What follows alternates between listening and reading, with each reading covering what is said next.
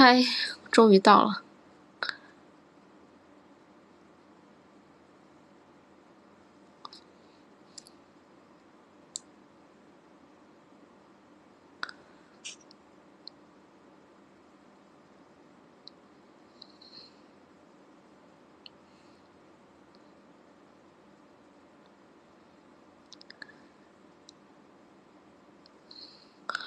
我回来很恐怖，我感觉整个中心好像就剩我一个，剩我跟叔叔两个人了。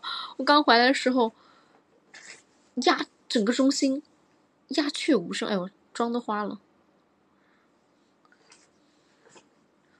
整个中心异常之安静。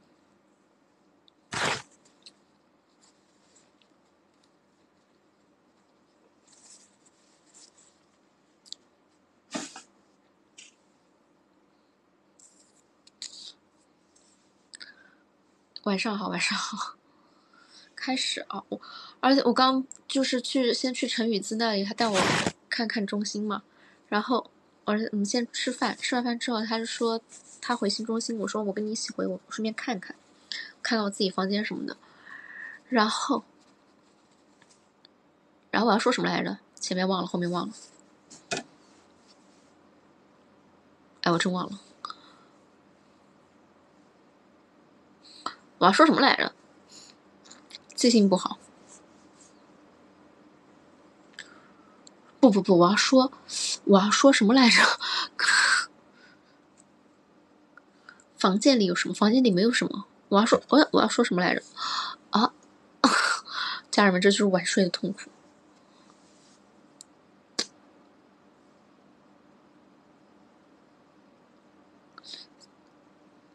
忘了，反正反正我就反正我现在就回来了嘛。然后回来的时候，我就我回到那个中心门口，我感觉整栋楼就我跟叔叔了，非常安静，真的非常安静。特别是上了二楼，这整个走廊空空荡荡，只有我的房间灯是亮着的那种感觉，就是，我感觉整个二楼现在就我一个人。哦，好像还有李慧吧，可能。大家基本上都搬过去了，然后 N 队好像没搬吧，但 N 队住三楼，N 队基本上都在三楼。就天呐，我真的忘记，天呐，我忘记了我刚刚要讲什么。我在我在新中心，我在新中心发生什么了来？发生什么事儿来着？天哦，对，我就回我就先陪陈雨子，不是陪陈雨子，陈雨子陪我，然后我先去他房间坐了一会儿，然后我。我把那个鞋一脱，我穿上拖鞋，我说我脚怎么这么疼啊？然后呢，我说陈雨子别介意，我把袜子一脱，我的脚底，我的脚底有一个水泡，我跳过也跳出水泡来了。我说这也太努力了，这 这百思不得其解。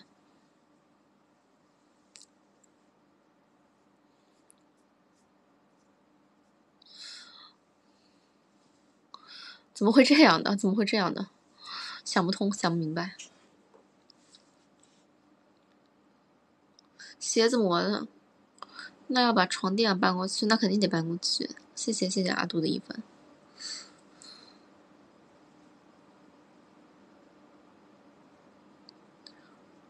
我的鞋，我的鞋没问题，应该是公演的鞋有问题。我的，我的丝，我感觉我丝鞋应该没什么问题吧，毕竟是运动鞋。我这里就是没收拾，看看我后面，就是现在还是处于一个一塌糊涂状态。等搬家公司来了吧，等搬家公司来那天，让搬家公司收。对对，水水泡挑破了，然后擦了擦碘伏。没有，我之前一直穿着鞋呀，但是从来没有磨过水泡过。我那天我那天穿着这双鞋，不是去那个去拍我的那个证件吗？凌晨凌晨三点到晚上八点，从宝山到松江。再到浦东，再到，呃，那个叫什么？那个小岛崇明，再到崇明，走了一天，我都没有起泡。今天起泡了，你说是我鞋的问题还是公园鞋的问题？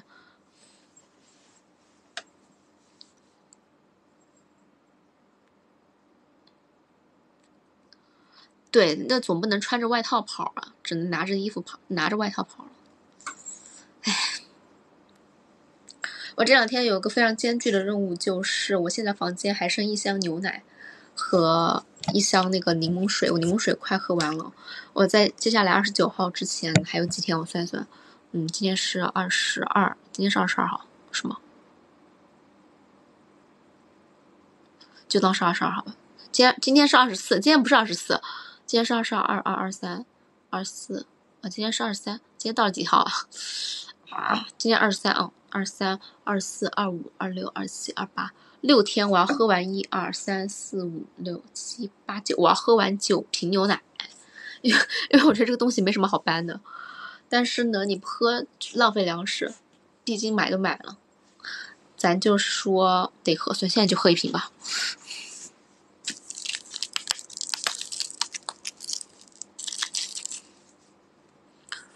给叔叔，哦，哎，给叔叔，叔叔应该有很多东西，估计中心有很多东西，每个平人均每个房间一台冰箱，对吧？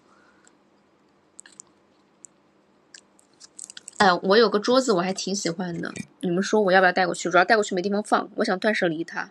但这个桌子当时我买回来可喜欢了，给你们看看。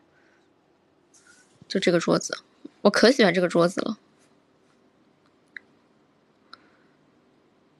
有看到这个桌子吗？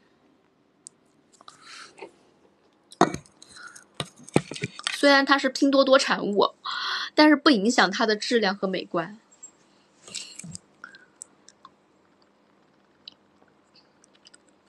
还有我买的那个椅子，我的那个电脑椅，虽然它是拼多多产物，主要是。这个桌子带了新中心没地方放，这是其一；其二是新中心有一个那个小电脑椅，我那个椅子再放买过再放过去吧，好像也很尴尬，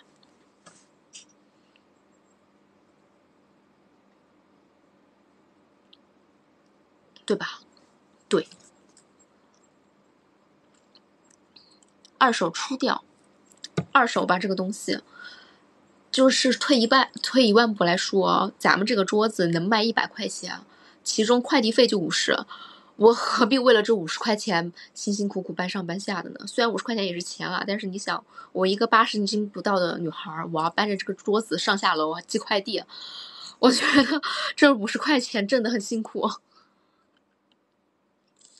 本地自提，如果是本地自提的话，那估计最多就卖二十块钱，我觉得也算了不麻烦啊，还挺挺折腾的。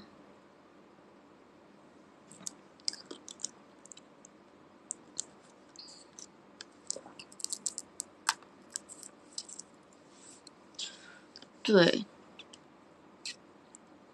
对，我想好了断舍离，但是我现在唯一纠结的一个东西要不要断？我最纠我最纠结断舍离的是我的那个书书柜，我可喜欢我那个书柜了，但是我那个书柜好像就是怎么说呢？带过去的也不知道放哪儿。我现在对，现在纠结两个东西，一个是我的那个电脑椅，还有一个就是我的那个书柜。我房间很乱，你别介意。就是有看到吗？那个书柜，然后那个电脑椅。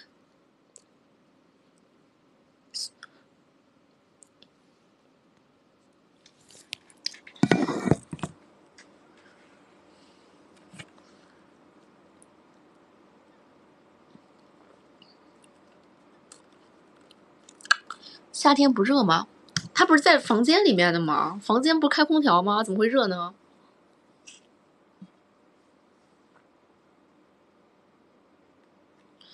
书柜可断啊！我想的是，我宁愿断椅子，我也不想断书柜。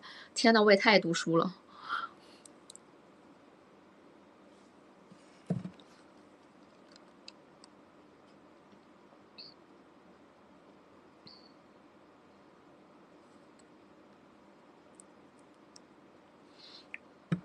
都带，那房间放不下吧？那房间就那么大点地方，完了之后，他的那些家具还是还是死的，没位置放，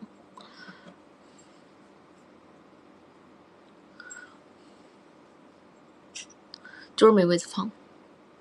断断什么好呢？断什么好呢？没想好呢。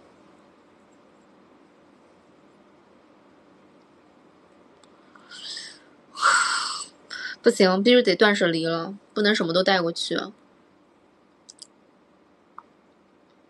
就是我考虑的就是住单间，住单间好像都没有位子放。我今天去看了一下，我看了一下，我说就算住单间，我都不知道放哪儿。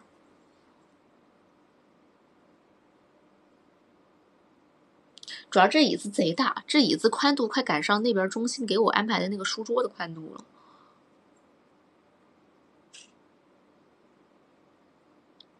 单间很小吗？不小啊，单间就是现在的双间、双人间啊，只是一个人住。但问题是，它这个双人间，它的格局已经锁死了，然后那一整面电视墙放不了任何东西，因为它已经安排好电视跟柜子了。然后它这边沙发吧也动不了。厨房这边也，厨房这边还给你了，给了你一个桌子，也动不了。完了之后还有个大冰箱，冰箱面前你也放不了任何东西。然后唯一给了你一点空间，那个那个空间只能放张床了，别的啥也放不下了。所以我就在想，我这些东西带过去，我也没地方放，嗯，怎么办呢？虚荣心不小，但问题是就是没地没地方放东西，没地方放。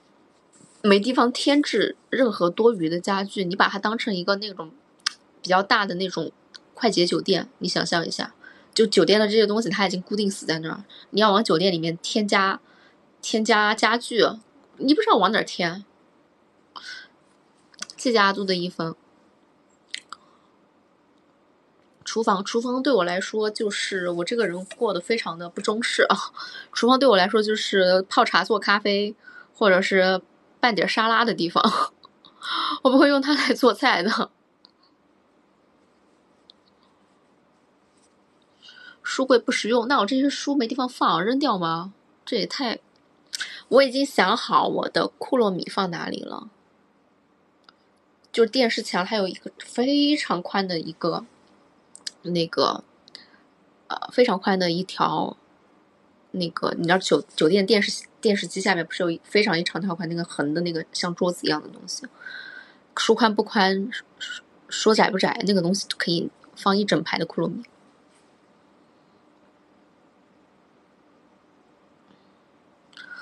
我会做饭，但是我不想在中心做饭。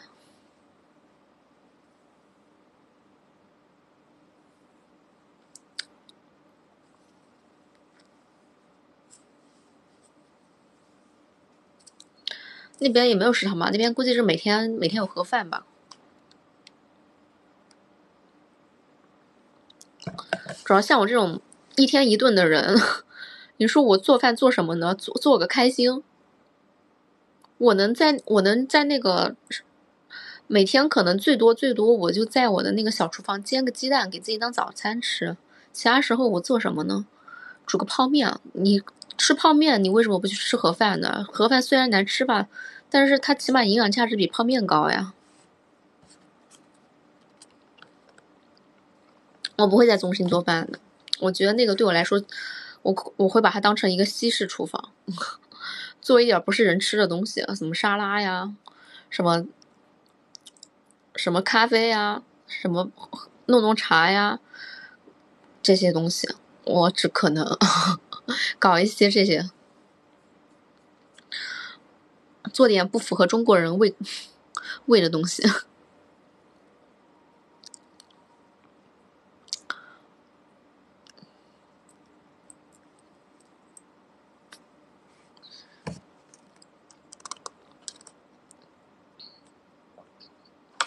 我今天贴了下睫毛哟，快看，厉害吧？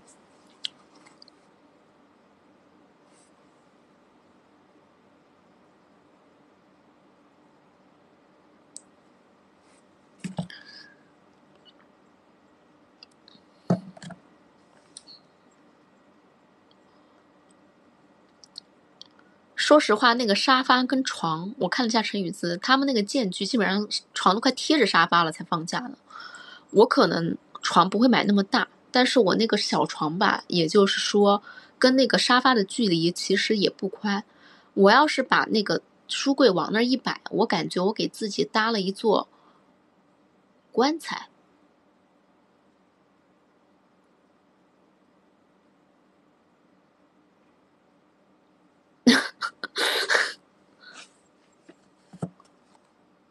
呸呸呸呸呸呸呸就很奇怪。从不管是从，你不要说从风水学上来讲了，你自己想想，你都觉得很奇怪。你想想，你那个床旁边这么高的一个那个书柜，我这书柜主要是也不高，我那书柜不高，我那书柜差不多其实只有只有我桌子这么高。你想想，你往那个床上一躺，你感觉奇怪不啦？而且我书柜还是原木色。是个别的颜色也就忍了。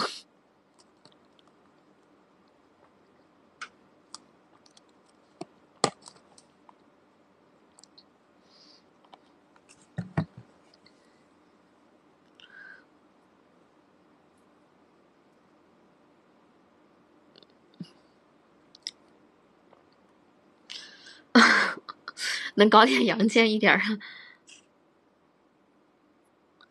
可以放沙发背后，那沙发挡住的那一块干嘛呢？那么沙发挡住的那一块干什么呢？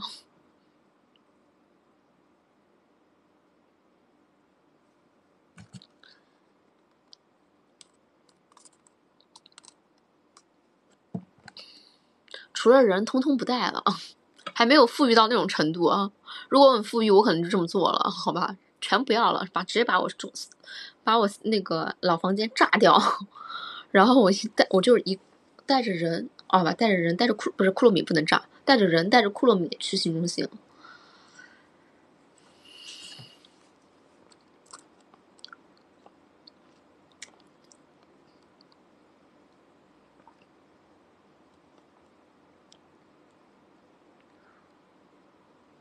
不行，因为我床头对着书柜，首先。从风水学上来说不好，其次是什么呢？我这个人有那么一点点强迫症和洁癖，就是那个格子是最藏污纳垢的地方，它每天还在我的头上。那我每天，我以前每天睡前干的事情刷手机，后来我就变成每天睡之前把每个格子给擦一遍，这太难，我是活得太累了，不行，绝对不可以。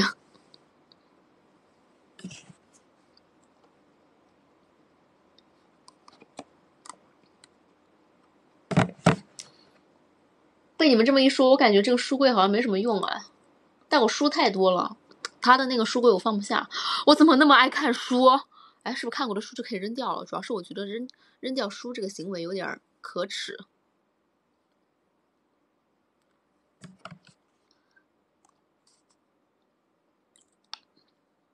我捐过很多次了，我已经捐过很多次。我以前还喜欢捐衣服，后来我发现我们这边快递不当人，然后就没有捐衣服了。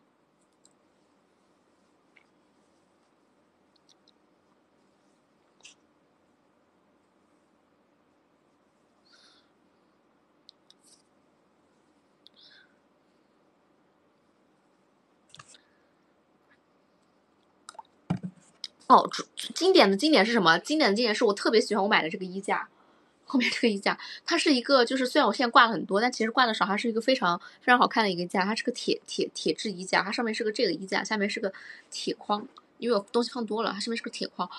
这个才是我最想带过去的，这个是我绝对不能断舍离的东西。虽然它是啊，它不是拼多多产物。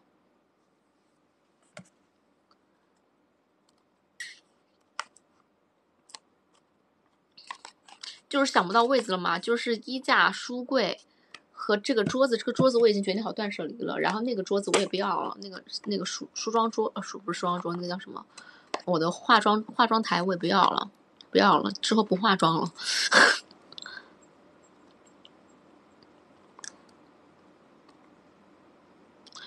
那怎么办嘛？不要书柜了，不要书柜，我的书放哪里？我的书放厨房，厨房的空间，哎，厨房的空间是真的大，厨房的储物也非常大。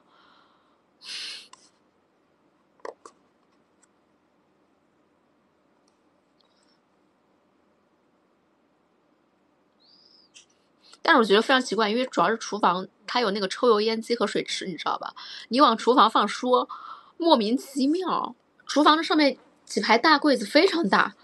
然后我就我跟陈雨姿说，我说我冬天，冬天的厚外套，还有什么冬天的那个厚被子、电热毯，我都特别想往厨房里面塞。我说你会觉得奇怪吗？那个储物空间太大，我厨房没有那么多东西啊，我没有那么多什么锅碗瓢盆这些东西。天呐，我是一个，我是一个，我是一个没有生活气息的女人。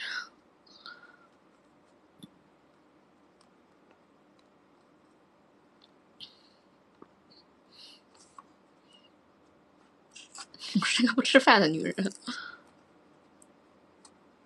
对，厨房除了厨具，我其实厨房，我想一下，我会带一个那个奶锅过去，那个可以煮牛奶，然后再带一个小锅，都是之前彭佳敏送给我的，啊彭佳敏还是尼克送给我的，无所谓，他俩谁送都一样。然后煎煎蛋什么的，然后再带两三个杯子过去。没有了，这就是我厨房的全部东西了，没有了。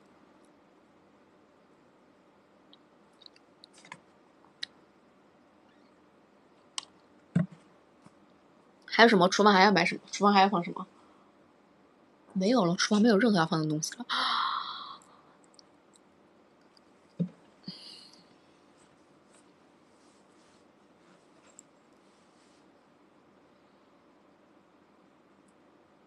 我甚至想把我的厨房改成改成那个化妆台，但是也很奇怪吧？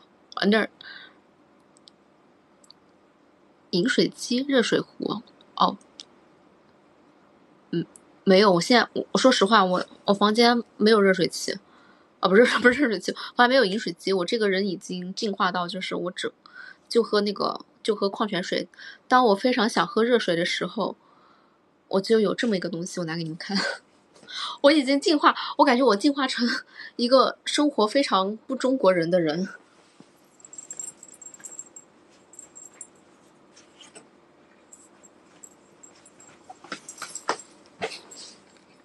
This one，就是实在今天必须得喝热水的时候，我就会用它煮热水。但是我几乎不喝热水，就是它想它是一个保温杯，然后其实呢它是一个热水壶。我也到现在我都没想过，我买买它回来，我好像喝过热水吗？没喝过，这个玩意儿都没打开过。因为我买当时买它主要是。就是出出去住酒店的时候，我觉得酒店的那个煮热水的非常脏，然后我就说这个带到行李，带到行李里面。结果每次出去也没有需要，没有也没有说有必须要喝热水的地步，然后就买回来也没用过，反正，但是总有要喝热水的一天，所以我就一直把它留着，我也没扔。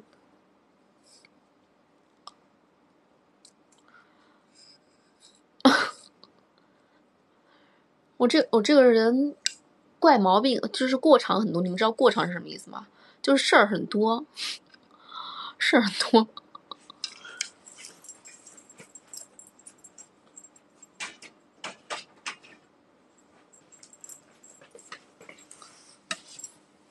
我出去住，出去住酒店事儿很多的。我不用酒店的浴巾，不用酒店的毛巾，不用酒店的杯子，不用酒店的热水壶。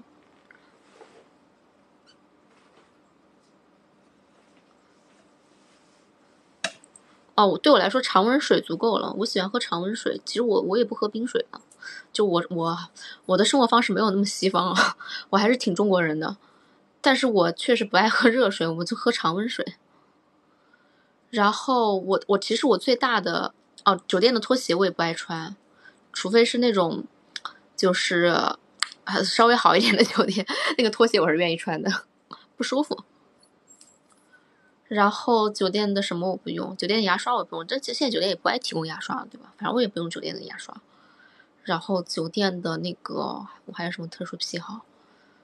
酒店的枕头我还睡了，酒店枕头，但我会带一个那个枕套，酒店的枕套。酒店住的久的话，我会带被带四件套，直接带四件套。如果住个一两天我就将就了，但是我一定会穿衣服睡觉，而且是那种长袖长裤的睡衣，就是。皮肤不接触酒店的，天，我事儿真，我事儿真多，我事儿真多。谢谢车车的荧光海。然后，对我去酒店都都穿一次性袜子、一次性内衣什么的。哦，还有酒店洗澡的那个，如果它只有那个，只有那个叫什么？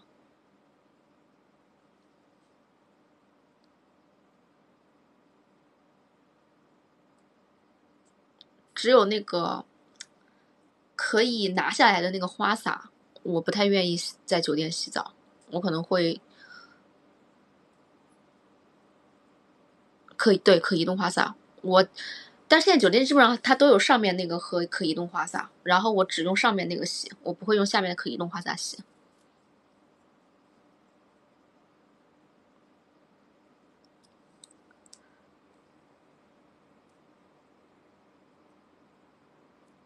就是它一般头顶会有一个在天上的，在天在天花板上的固定好的那个出出水的淋浴装置，然后它下面有一个矮的那个是可移动的，然后我绝对不用下面那个，我全用天上那个。我不是不洗澡，就是如果说它只有那个可移动的话，然后我就是会那个去问别的房间谁有那个上面的，我去他房间洗。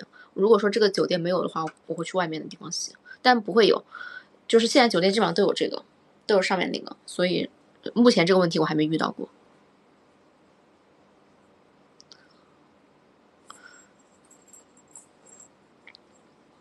对，虽然那个总感觉洗的不舒服，洗的不干净吧，但是那个是很干净的，对我来说是很干净的。就是我这个人事儿真多，家人们。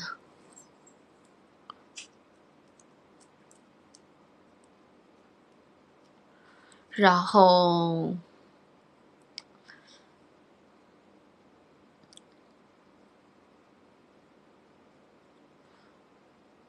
我我出去住，我也会带一大包那个酒精湿纸巾，就是马桶先里里外外擦个遍，我才会上厕所。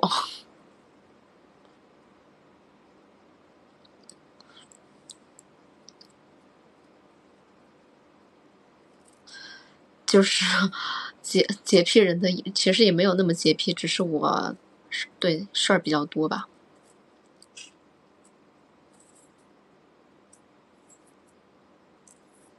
我甚至不爱用酒店的吹风机，我都自己带吹风机。当然不是嫌脏，主要是酒店的吹风机一般来说功率都不行，吹半天，我头发长的要死，我都会自己带吹风机，吹几下吹干了。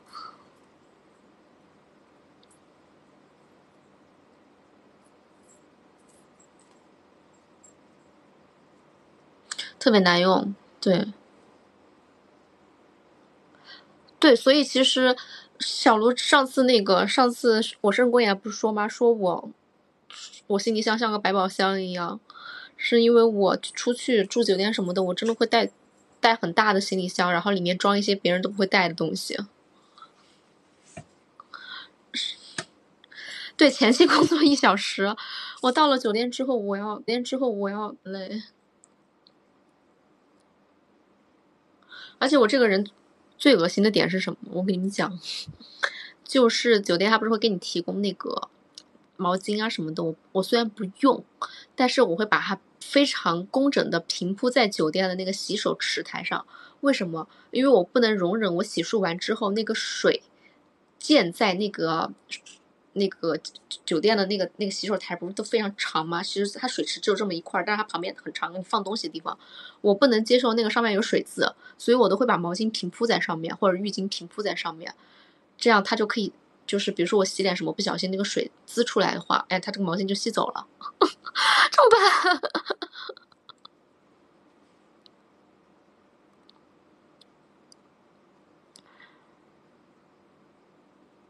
然后人家人家的那个去酒店不是带的那个洗漱的东西，比如说装一包，然后在那翻翻翻丢就行了。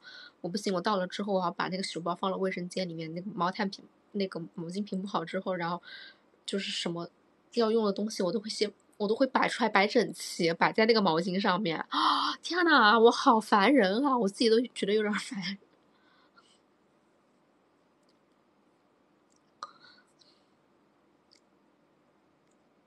谢谢车车的端午龙舟，我很累。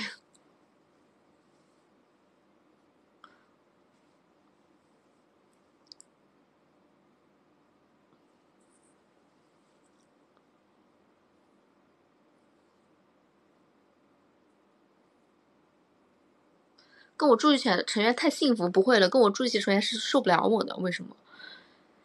因为强迫症。我是强迫症加洁癖，这是一个非常烦的事情。就比如说你跟我一起住酒店，对吧？你洗漱完之后，你那个台上有水渍，照理来说很正常。我会拿起毛巾把水水渍，哎，我会拿起毛巾把酒店的洗手台上的水渍擦掉，要不然我会睡不着觉的。所以别人肯定也觉得烦啊，别人肯定也觉得有毛病吧？我洗我我洗漱完你就这么迫不及待的过来打扫吗？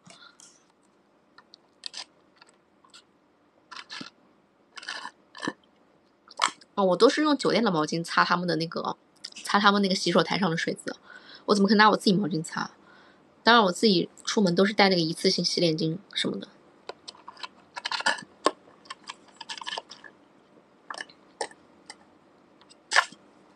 而且我这个人恶心到什么地步？恶心到就是进了酒店那个换的那个鞋，那个鞋必须放在我换他提供一次性拖鞋的那个有柜子就放柜子里面，没有柜子就放那个那个他有个那个。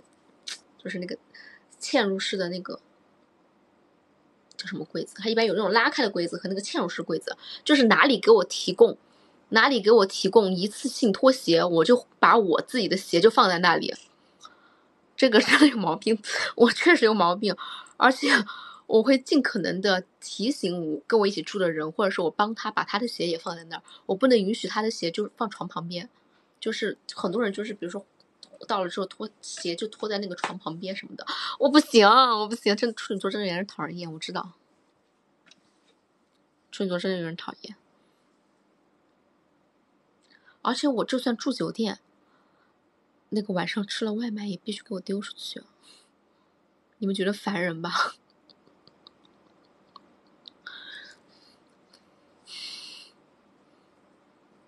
丢门口。酒店阿姨虽然没有很轻松，就是必须得丢出这个房间。我不能忍受晚上睡觉的时候一直闻到外卖那个味道，我觉得非常烦人。垃圾袋绑起来不行。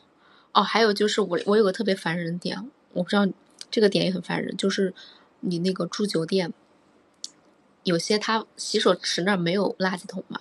比如说我们女孩卸了妆什么的，可能洗脸巾、卫生棉，呃，不是卫生棉，那个叫什么？呃，化妆棉、卸了妆的东西，你就会丢在那个洗手池、洗手台旁边吗？不行，我会把垃圾桶放到洗手池那儿。咱们的那个卸妆棉、洗脸巾，或者是用完的什么小样，反正垃圾必须丢到垃圾桶里面，你不能丢在那个台子上面。如果你丢在台子上面的话，我会过去帮你把那个丢到垃圾桶里面。啊！所以，我我一直喜欢一个人住，我不喜欢跟别人一起住，就是我也受不了，别人也受不了我，所以大家还是不要不要因为生活习惯不同闹矛盾啊。所以我一直坚持自己一个人住，当然还有一些别的生活习惯。我我其实不是因为我受不了别人，不是因为我要求别人怎么样，是我觉得别人受不了我，所以我觉得为了咱们的那个，为了关系不恶化吧，我现我还是一个人住吧。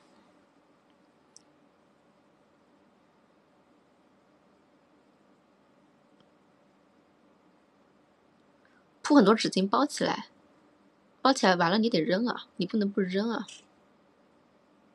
还有就是酒店，比如说很正常啊，你住酒店，你比如说什么啊，比如说就比如说你拆那个一次性一次性拖鞋的那个外面的那个包装袋，拆完之后你就随手随手扔地上，对不对？我会帮你捡起来扔到垃圾桶里边。就是这个酒店地上不能随便扔垃圾，垃圾垃圾就该在垃圾桶里面。你们觉得难受吗？跟我住很窒息的。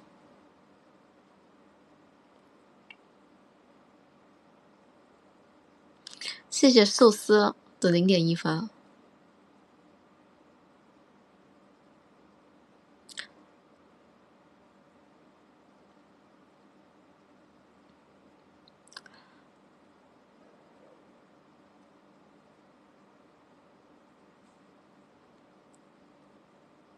不酒有些时候酒店其实随便嘛，你比如说你那个你那个一次性拖鞋的那外面那个包装袋拆了，你就随手就扔在那个换鞋的地方或者怎么样，其实也没关系，对吧？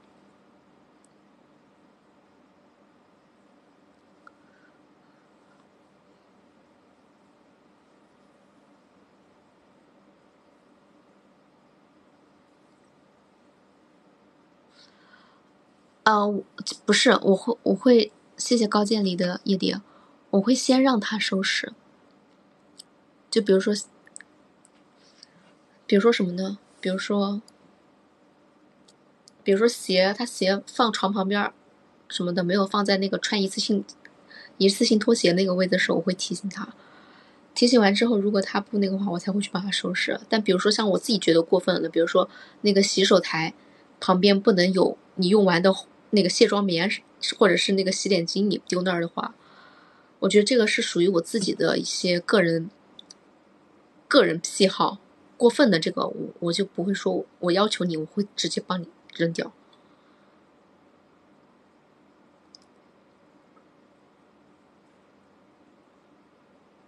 没有，因为就是比如说有些酒店，它的那个洗洗漱台那里它是不提供不提供那个叫什么，它是超级干湿分离。它的有些酒店它的洗漱台是在卫生间外面的，然后那旁边是没有垃圾桶的，垃圾桶就是在你就是叫什么来着？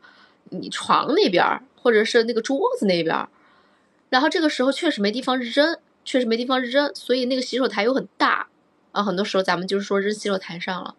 然后我不行啊，我不行，我要去给你扔到垃圾桶里边我要拿着你的东西跨过咱们俩的床，到那个垃圾桶那边我给你扔到，或者是我拿着你的东西到厕所去给你扔了。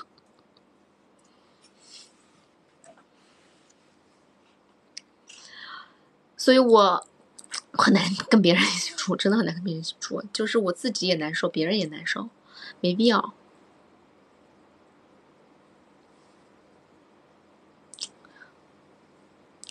谢谢早餐赞助商的皇冠，谢谢。好久没有赞助早餐了，早餐。但我明天可能会睡个懒觉，不不吃早餐了。上学的，我发现其实我上学的时候没有这么没有这么严重。我只是对，我只是自己，因为上学的时候都是那种上下铺嘛。然后我们就是洗漱的地方是公用的，然后洗澡的时候是去澡堂，所以。我那个时候真的没有现在这么严重，我是越长大毛病越多。我那时候只要求，只要求两点：首先，我自己的那个桌子那一块儿，就是我自己摆放的非常有强迫症，加上我自己的床，就任何人都不能做。我当时只有这两点，还好。然后像别人的，我就觉得无所谓。但是不能往地上扔垃圾啊，这个必须不能往地上扔垃圾，哪怕是他今天值日，他说他先扔一会儿，他再扫。在他扫之前，我都受不了，我都会就是我提醒他，他要不扫，我就给他扫掉了。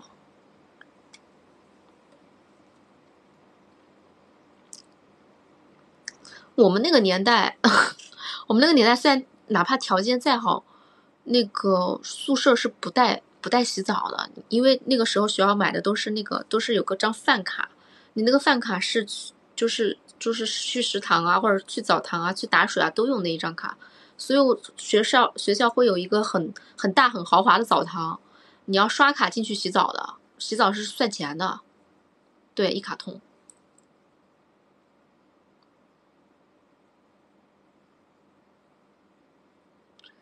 现在会让我坐床吗？呃，就是可以坐床尾，可以坐床尾，但是床尾的前提是你只能坐在我的被子上面，不能坐在我床上面。再有个其次就是你不能穿。你不能穿你今天在外面穿的那个裤子坐我床上，你可以穿睡裤坐我床上。我是不是有毛病啊，家人们？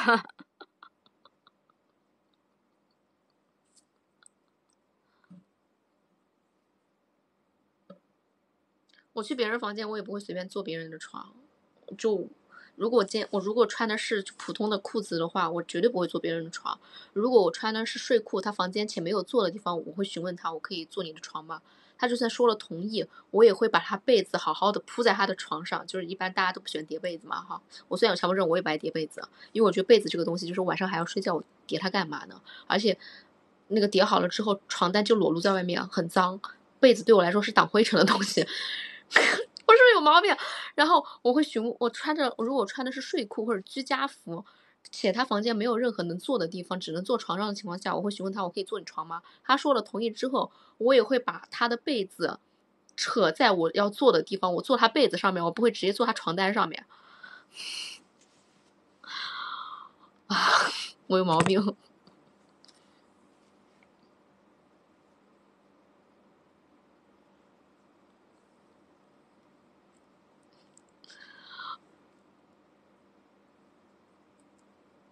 被子这个点不好理解吗？就是因为你人是睡在睡在被子，就是这是比如说这是被子嘛，啊，比如说这是床，然后这个是被子嘛，你人是睡在这个里面的，对不对？你人是睡在这个里面的，对不对？所以你要保持这和这儿的干净洁整洁，对吧？我人坐在这个床单上是没有问题的，但是我绝对不允许我在你家做客，哎，我人坐在你这个床上，我觉得我脏了你的床。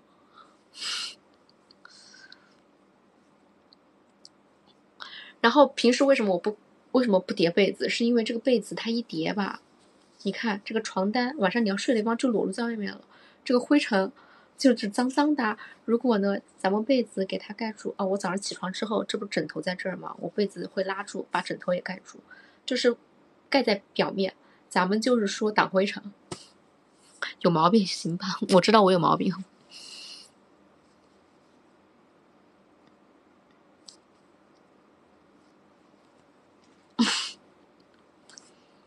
我我知道我有毛病，不说这些，不说这些。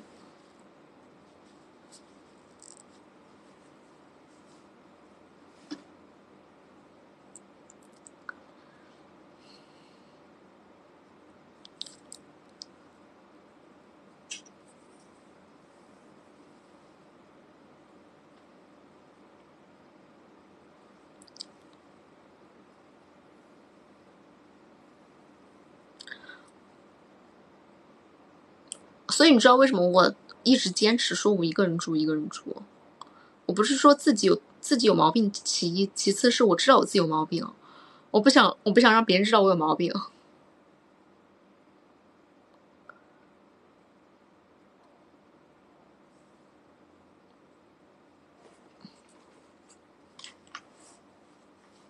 不想我不想因为我的我的毛病让我们原本是非常和谐的。同事关系变得，变得剑拔弩张。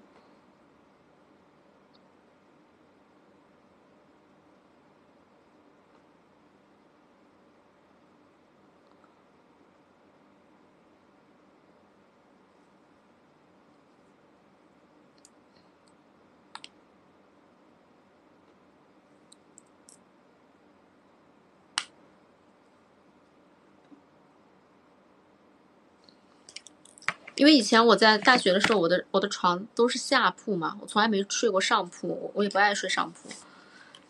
不爱睡上铺的原因是是什么呢？我忘记了啊，前面忘了，后面忘了，反正我都睡下铺嘛。然后睡下铺就是，嗯，就是会提醒大家不要坐我床嘛。但是就是有些人他可能本身大大咧咧，他也知道，但是他就是记不住。后来我就学会了一招，就是我买了个蚊帐。然后我人不在床上的时候，我会把那个蚊帐拉起来，你就根本他就根本坐不了我的床。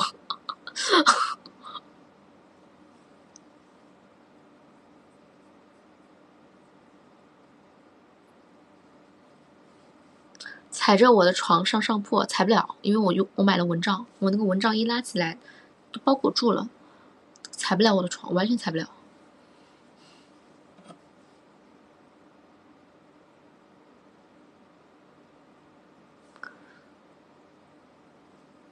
防护罩，物理物理物理的防护罩，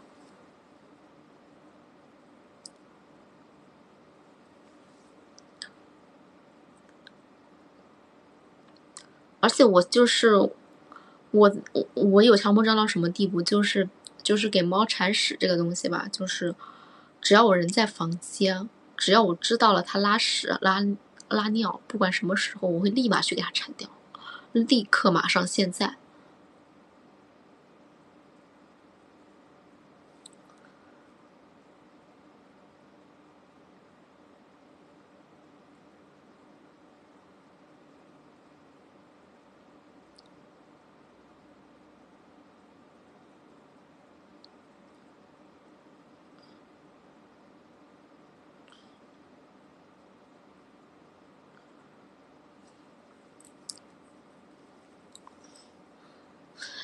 现在，现现在，立刻！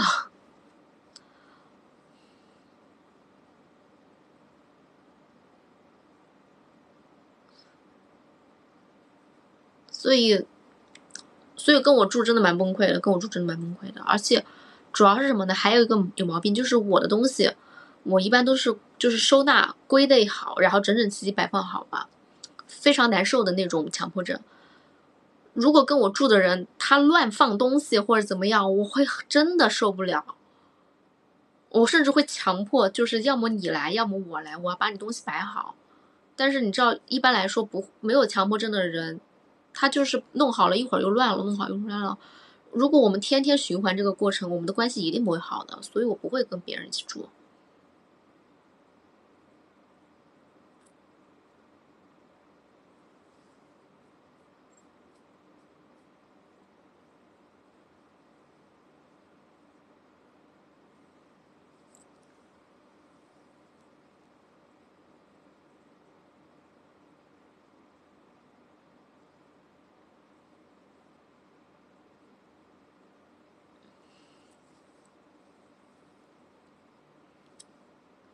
就不是之前跟你们讲过吗？我之前去我经常去我闺蜜家，我就是每每去一次，我都会帮她收拾半天，她的那个桌子还双台什么的，都是那种她的性格就是那种用了就丢丢哪儿她自己知道，但是整个整个桌面很乱那种，我不行，我必须就是全部给她收拾好归纳好这种，下次去又又这样了，我又给她弄，下次就是，所以我也不跟她一起住，我就是偶尔去她那玩一玩，或者是住一晚上住两晚上的，我知道我们。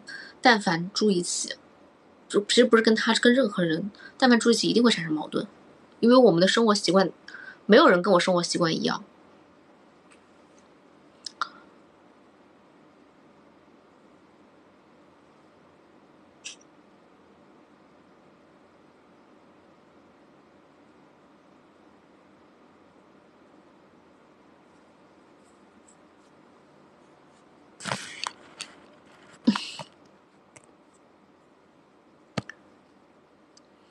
所以，没办法，我我所以知道为什么我总喜欢一个人住了吧？不是说我这个人有多，多那个叫什么来着？多，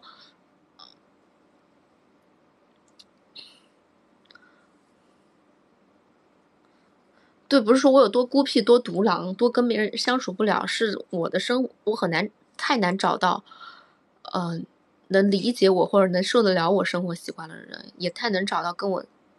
跟我能同步的人太难了，没有那么爱干净，但是非常的爱，非常的有强迫症，这个是关键。就是我我受我可能有点受不了别人，我也知道别人绝对受不了我，所以我我我不要就是说跟别人一起住，一定自己住。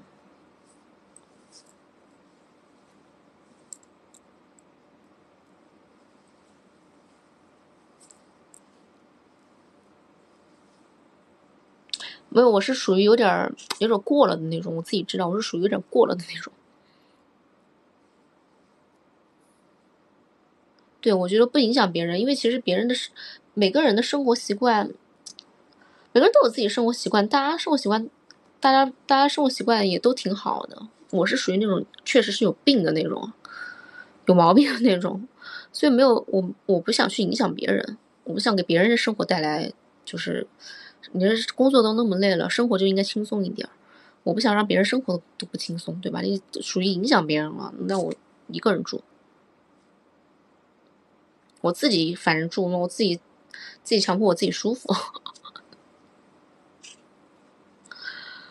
我每次最开心的事情就是我收拾好房间了，我这里整理好了，我就说哇，太舒服了，太舒服了。但我刚要是跟别人一起住，别人会觉得有毛病，真的有毛病。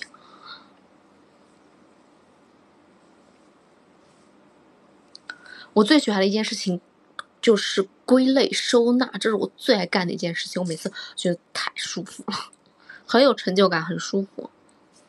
而且我喜欢，我有些时候还没事儿找事儿。今天真的就是，比如特别闲的时候啊，疫情的时候，今天真的闲的什么事情没有，那就好吧，我就把我这一片重新弄弄，全部再拿出来，我再重新归纳，重新那个收收那个叫什么归类，再收纳一遍啊，重新弄进去。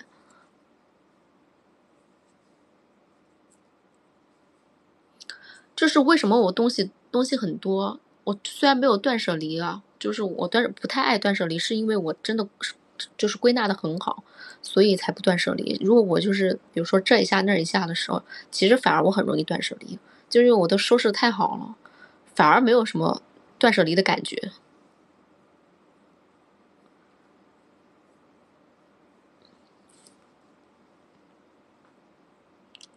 所以我非常，我真的很爱我的格子书柜，它我的每一格都有它的分类，我的每一格 都完成了它的使命。给你们看我的那个，这个是我绝对要要的，这个柜子是我绝对要要的，因为每一格都有它应该放的东西啊，每一个抽屉都有它应该放的东西，而且我放的非常好，这个东西必须得要啊，这个东西绝对要，这是我买的最满意的一个东西啊。太喜欢了，喜欢了。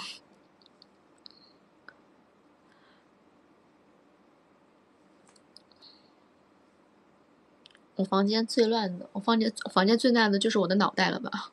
我房间最乱的是我的思想。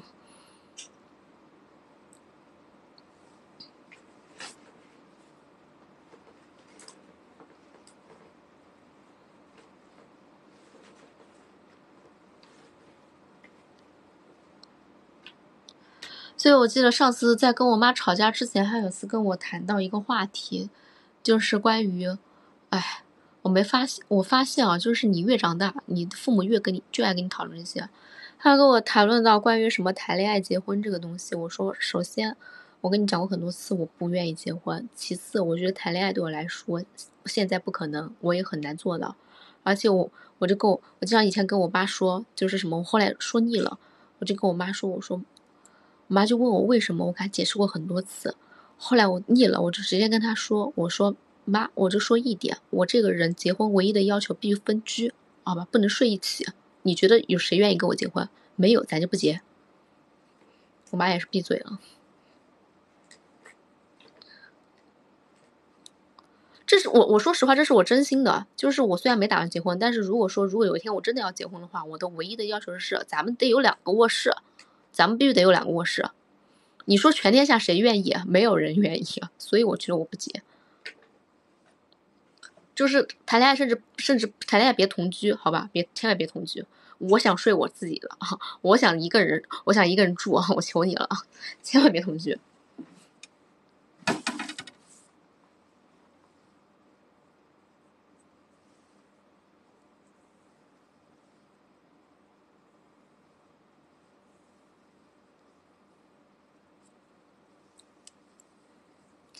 睡在上铺的兄弟哦，不行，咱们不能在一个空间，咱们得有两间卧室，真的得有两间卧室。你们能理解我的这个，啊，这个癖好吗？不是说癖好，你理解我的这个想法吗？我觉得可能很少会有人理解。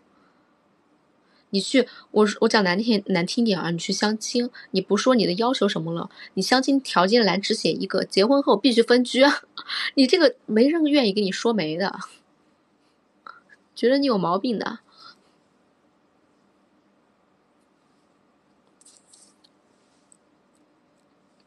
所以我跟我妈说，我说，我说，我也说，我说你千万别给我安排相亲什么的。我说我相亲我会，就是我见人家第一面我就说，必须分居啊，必必须是必须有两间卧室。我说这个相亲一定谁都谁来谁黄，所以你也别给我安排相亲什么的，别别搞。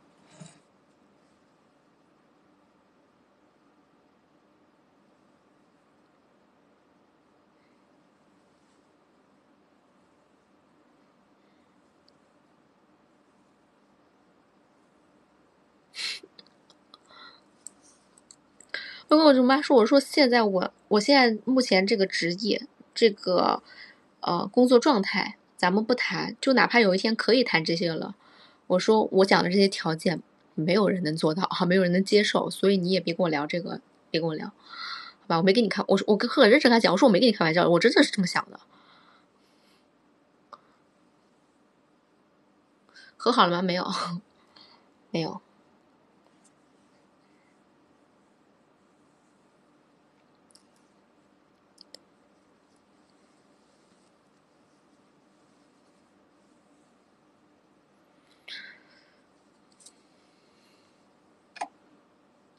主要是我感觉。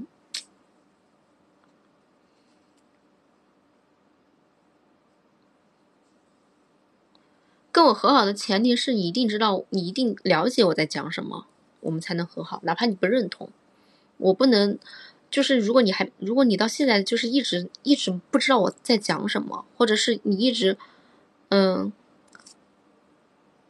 不讲逻辑，对吧？你一直不谈逻辑，我们就没有办法和好。那天打了个电话，完了之后互相发了个短，发了很多短信，我发现就是跟星座无关。可也可能这个星座是这样，也有可能，也可能我妈是这样。我在讲，我在讲道理，我在讲逻辑，我在讲事实，我在讲非常客观的东西而他一直在跟我谈感情，我感觉没法沟通，没法交流。所以我就觉得没必要，就是这话说出来可能有点那个啊。虽然是我妈，我都觉得没必要浪费时间，因为我们，我们，嗯，我们不是同我们我们的思想哦，不是思想。我们所讲所想东西不在同一条跑道上面，不是同一个路子，没在没在一个点儿，所以我就觉得没必要先打。本来先打电话，我们都想，我想好好说，我想我特别想好好讲，我有好好讲，好吧，他有好好听。但是呢，经过两三句话，我发现啊，他强调的一直是感情方面的东西，而我强调的一直一直是事实和逻辑。然后我就觉得没必要聊下去了，因为我这个人可能就属于也是这方面有毛病，就是有些东西可以好好讲，但是我会非常果断的做出我的判断。我的判断就是你听不懂，或者是你不想听懂，你要你必须得跟我谈感情。那我的判断是我们没有聊的价值，以及我们在浪费彼此的时间。然后我就选择了把电话给挂了，然后就是然后就开始给我发发短信，长条短信什么的。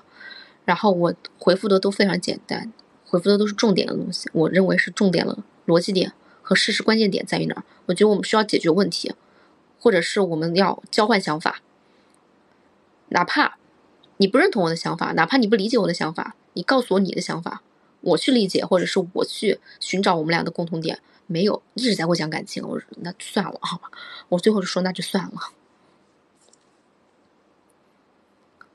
很难换位思考。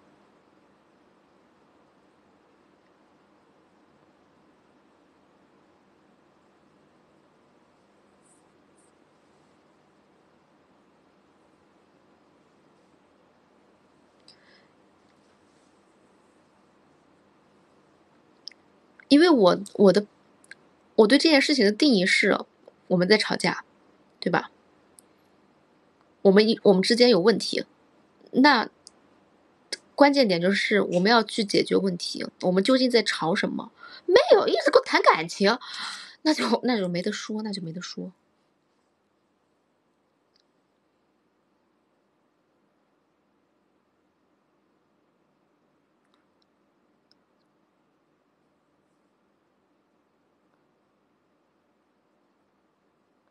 那就那很难讲，那很难讲。但我觉得这个东西也没关系。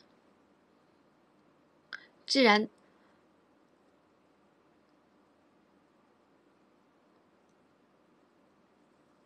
既然还是如此，且彼此还很忙的情况下，咱们还是先各忙各的吧。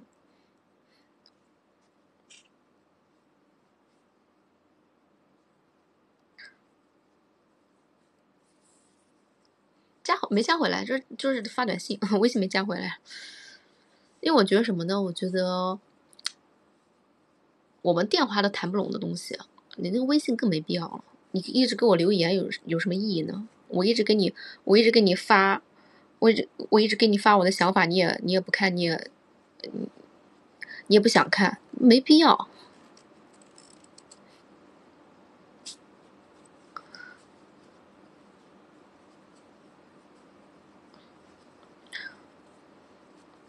短信短信也没发了呀，因为我觉得如果下次还想聊，打电话吧。短信我最后一条就说那就算了，别发短信了。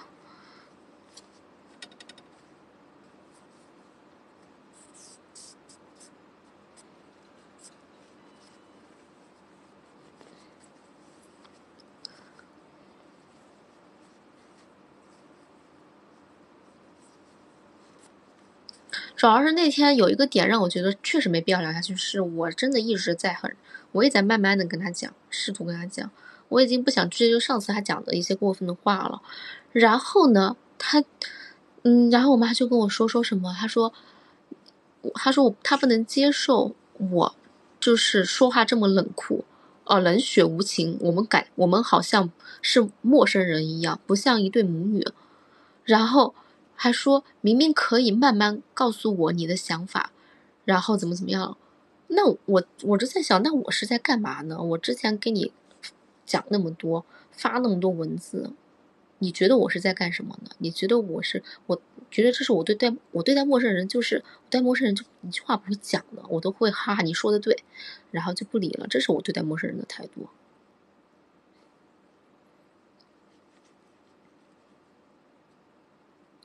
然后我给你发那么多文字，你觉得我没有在跟你慢慢讲吗？我给你打的电话讲那么多，你觉得我没有在跟慢慢讲吗？我是觉得慢慢讲你不听，你不理解，你还要一直单方面的输输出你的观点，加上谈感情，那我觉得不要去浪费这个时间，所以我就不想跟你交流了。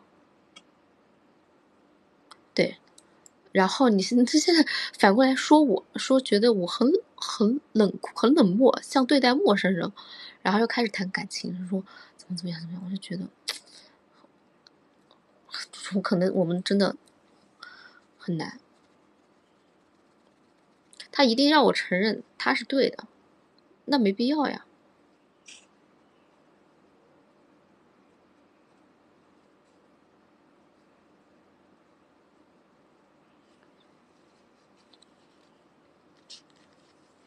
如果这是你想要的，我可以啊，我可以。对，我觉得你说的对，但是我还是不会那么做。你觉得意义在哪里？没有意义。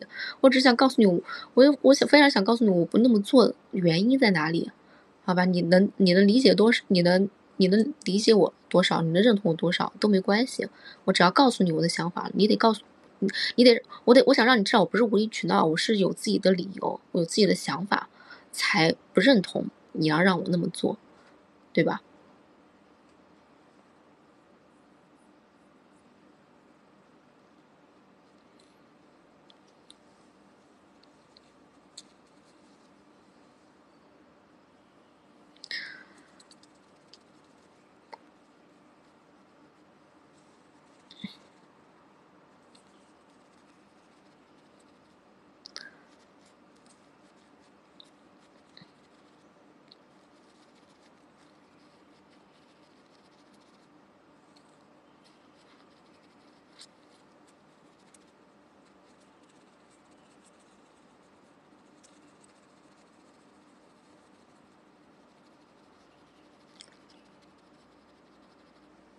对哦，就发现讲道理没用，那我们不讲道理了，还能讲什么呢？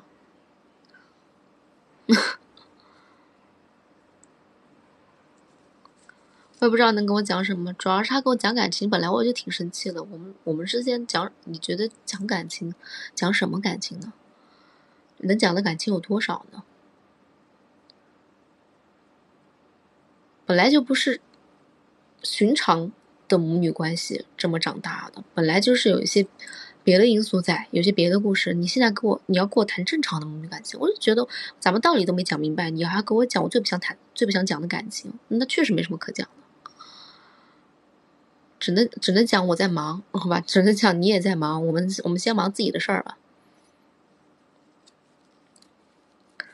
我们先忙，先把自己的事儿忙完再说吧啊，空了再说。空了想说再说，不想说就别说了。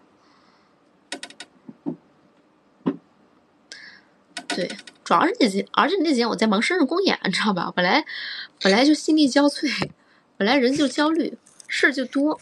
你还一直就是要跟我讲这个，我也不知道有什么有什么能讲的了。能讲，如果咱们这一次能讲好，哎，我觉得是有用的。我们这次讲不好，何必浪费这个时间啊？时间很宝贵。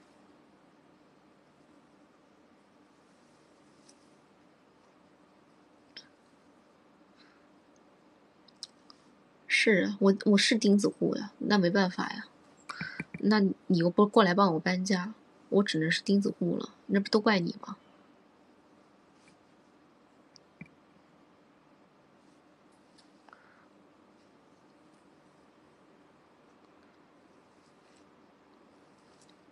你来吧好吧。速来。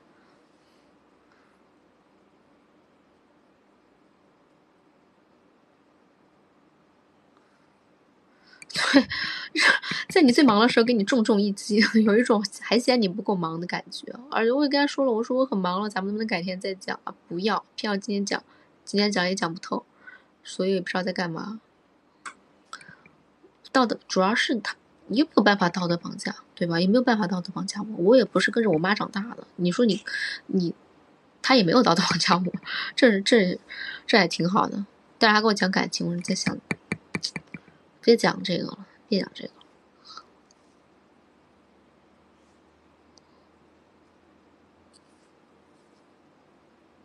闲下来再试图沟通，看吧，他想试图沟通再试图沟通，我我不想再试图沟通了。我是，我就像我是感觉我是属于那种，就是前几天，哎，要不试试？过了几个，过了一个月了，咱们也冷静了，试试能能不能讲讲？结果我后悔了。电话打过去，打过去没几句话，是我判断失误了。我现在就想挂电话，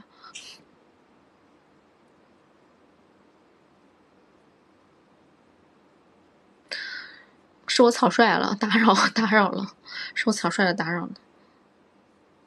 随缘吧，我觉得这个东西随缘吧，不强求。再说吧，我再说吧。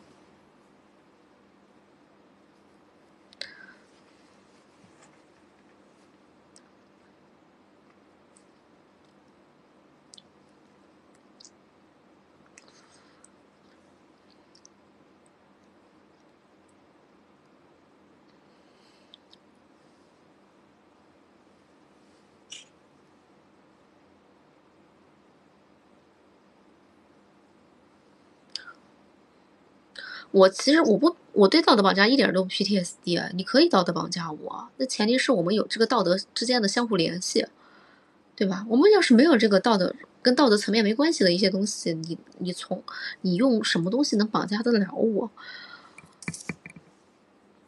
而且最关键点的是，如果我们只是单纯的在吵，在情绪的鲜血宣泄，你用道德绑架我完全可以。问题是我咱们现在开始讲道理了，依旧能不能？讲道理的时候，能不能不要不讲逻辑？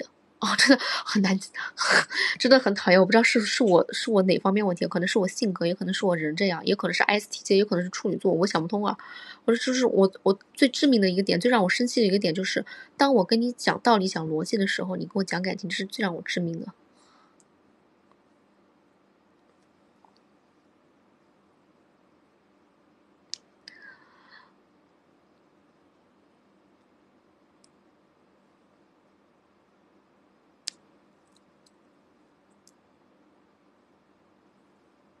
请讲逻辑，我的，我还没，哎呦，开始崩溃，请讲逻辑。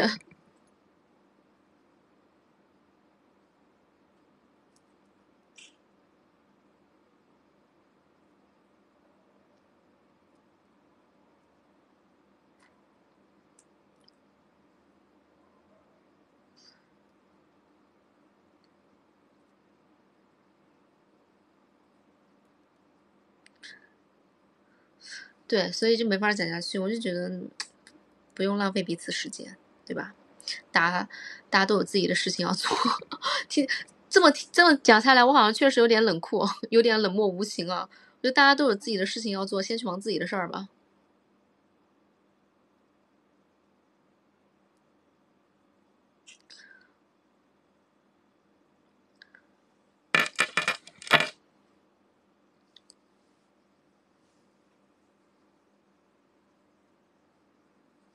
这样吧，先先这样吧。毕竟最近生日公演，然后，对吧？八月五号，我感觉我全心全意的投入在自己的事业当中。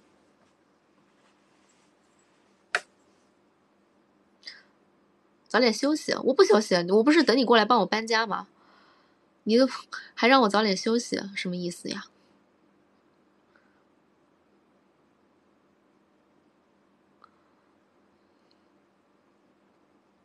说话不算数啊，算数，说话不算数呢？怎么刚还让我等着，现在来一句你早点休息啊？这什么意思？骗我的？骗我？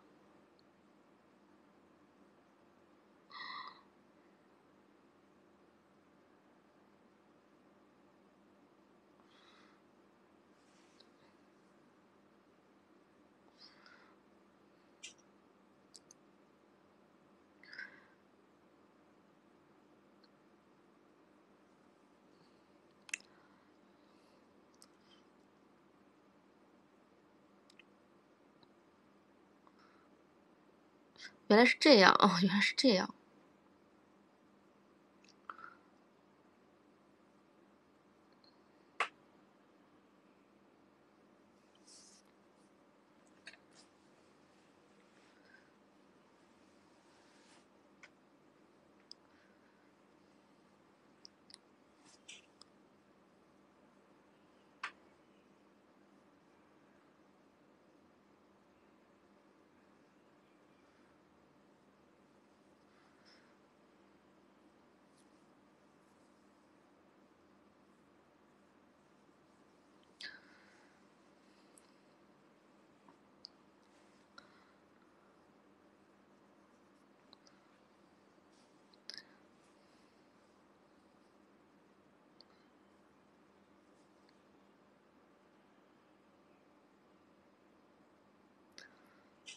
没用了，你现在划龙划龙舟过来，那得划到什么时候呀？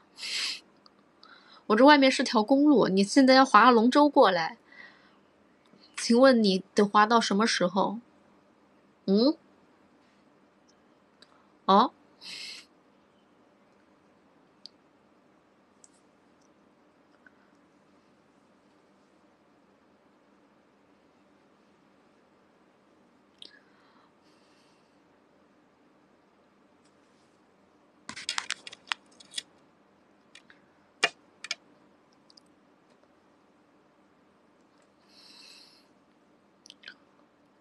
准备滑到哪里去？为什么要在陆地划龙舟？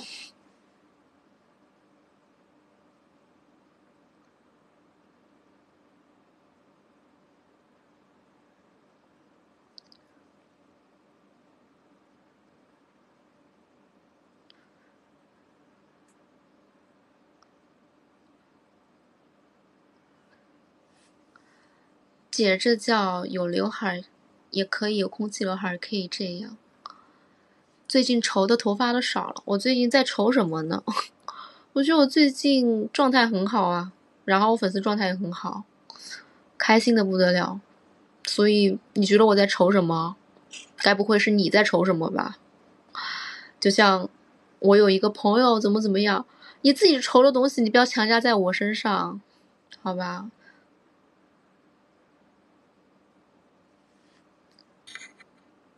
你在愁什么呢？你是不是愁的头发又少了？你在愁什么？你到底在愁什么？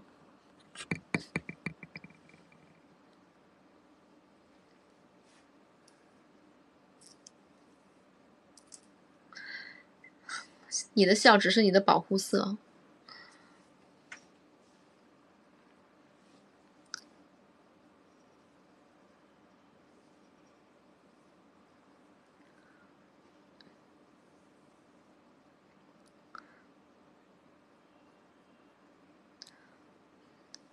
头发不热吗？就是有点热了，很长，很长，很长了。对，也有可能是像这个锅推一样，最近开心，头发猛长。那头发长得我有点看不见了都，腰这里了，看到了吗？长很快，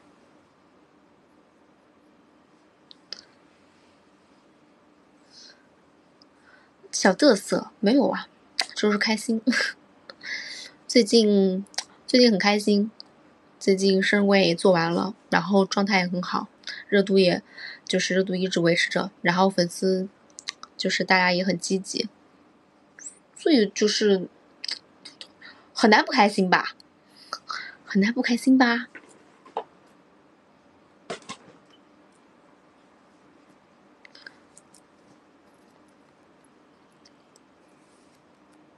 谢谢阿杜，谢谢阿杜的一份。然后本来今天不是塔塔开完了答应粉丝直播吗？因为我必我得那个必须得请陈宇子他们吃顿饭，然后就先去吃了顿饭。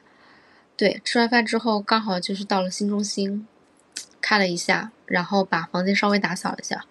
回到中心已经快三点了，然后很多很多粉丝肯定睡了，很多粉丝肯定睡了，不过没有关系。哦，明天明天我看看有没有时间直播，明天可能开电台了，因为明天不化妆不想直播了。明天可以开个电台啊，就是今天今天晚上可以开个电台，然后后天公演完了可以开个直播。对，所以就是。所以是说不用等我，不用等我，我会开，我会我会开电台和直播的，我等你们，不用等我。要是比较晚的话，就是早点睡了。素颜也可以的，不信，我现在有偶像包袱，我现在有偶像包袱，我现在多少双眼睛盯着我呢？我可不能素颜。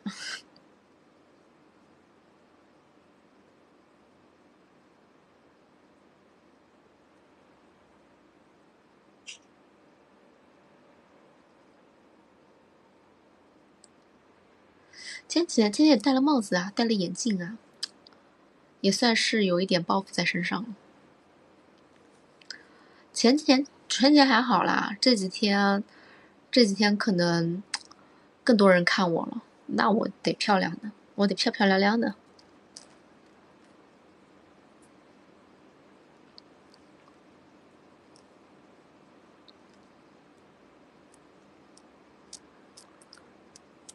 迷死他们，迷死他们干嘛呀？我只迷死，只要迷死我粉丝就行了。专注自己，专注自家粉丝。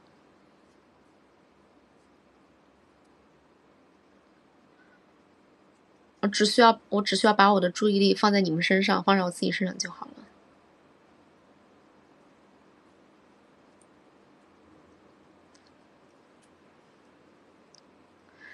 前面忘了，后面忘了，那就晚安吧，那就晚安吧。今天可以稍微睡个懒觉，今天可以稍微睡个懒觉，然后晚上等搬家公司的过来上门评估，他们要上上上门评估价格，然后评估完之后就可以开电台了。